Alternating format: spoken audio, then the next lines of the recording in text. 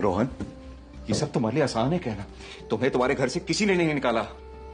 फंस तो मैं गया हूँ। ना कोई मुझसे फूल खरीदने को तैयार है और ना ही कोई मेरी बीवी को दूध बेचने को तैयार है। क्यों? हसन। क्योंकि मैं मुसलमान हूँ। माफ़ करना भैया पुराना मानना।